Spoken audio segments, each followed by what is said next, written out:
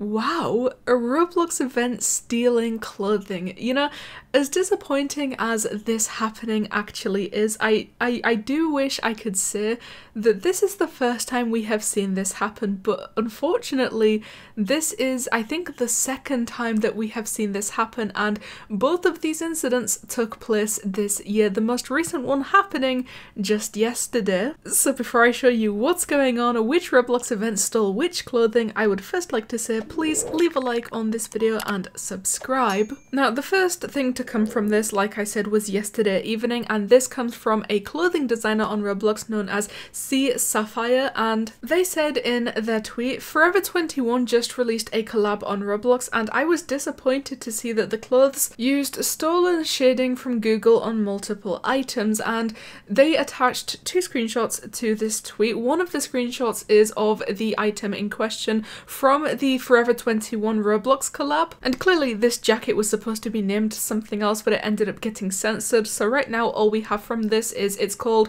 Split Something Something Something Jacket. It's by the Forever 21 Shop City. And at the time that this screenshot was taken, it was on sale for 5 Robux. However, after going to the group for myself and going into their own catalogue, I noticed that these items are no longer on sale. And it specifically seems to be the items that got called out for copying or stealing the shading that are no longer on sale. So I don't know if they are going to go back on sale or if they are going to be remade and then re-uploaded or just completely scrapped. But the second image attached to this tweet was a screenshot of a Google search result of Roblox shading templates. And I mean, you have to look really closely when just looking at the screenshots yourself, but you can see that this is a direct copy, if not like literally stolen shading taken from this Google Roblox shading templates and placed directly onto this Forever 21 split jacket. Like I said at the beginning of this video, this is absolutely not the first time that we have seen this happen, but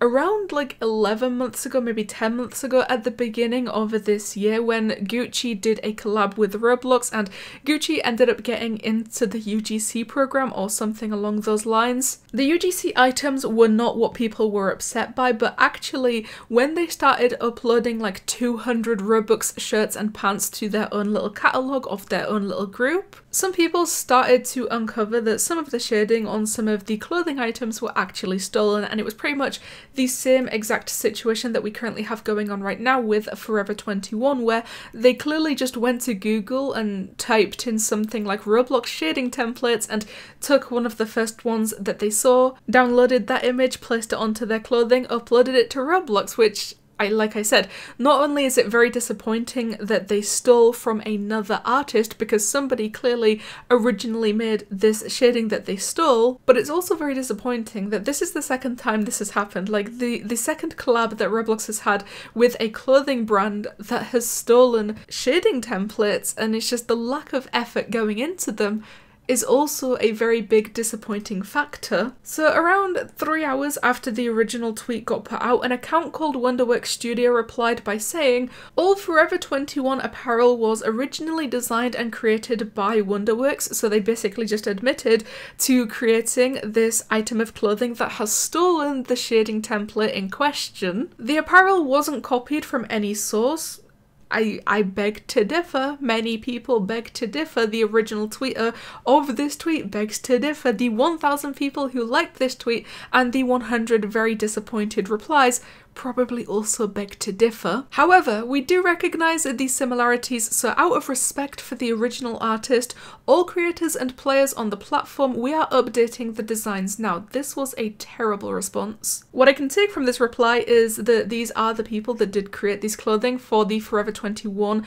collab on Roblox, and whilst it's very nice of them to be updating the designs and redesigning the designs without the stolen shading, they didn't admit to stealing the shading, but instead they straight up said they didn't copy anything from anyone. So to them, in their mind, their design looks a little bit similar to another design, so they're completely redesigning the whole thing. That does not add up. If you truly created your own design and didn't steal anything, didn't copy anything, it, the, the only thing wrong with it would be that it looked slightly similar to another design. You wouldn't take it down and redesign the whole thing. You would just explain that you didn't steal, you didn't copy, it just happens to look a little bit the same. If these people admitted to copying and stealing the shading, that would have been a little bit better because they went on to say that they are going to take it down and update the design, but they said they didn't steal anything, they didn't copy anything, they denied it. And I mean, just in case you are still a little bit unsure of what to believe right now, take a look at this reply because this person replied to Wonderworks Studio with a video, and in this video, they have both the shading template and the Forever 21 shirt template on top of each other. Slowly, this person fades out the Forever 21 shirt, and all that remains is the original stolen shading template. You can see that it's exactly the same. It is exactly the same. It's not even slightly copied, it's not just a little bit similar. They downloaded the shading template from Google and placed it on top of their own design. yeah, that's currently what we have going on over here. I mean, I think it was already disappointing enough to see that an official Roblox collab had stolen clothing or stolen shading once again, but the response from the people that created the clothing was especially disappointing because they denied copying or stealing anything despite the proof of being right there in front of their eyes for thousands of people to see. I guess it's good that they took the designs down, but once again, the response wasn't the greatest. They could have gone about it a different way. Instead of straight up denying what's right there for everyone to see. I don't know. Let me know what you think. There's nothing really to say. Like, I can't say, do you agree with this? Do you not agree with this? Because we just saw video evidence that this is stolen shading. So, one more time, please make sure to leave a like on this video and subscribe because I will always appreciate love and support that you guys give me. And you know what? It helps me out a lot. But I'm guessing of another Roblox event stealing a shading template from Google. Thank you guys so much for watching and I'll see you in the next one.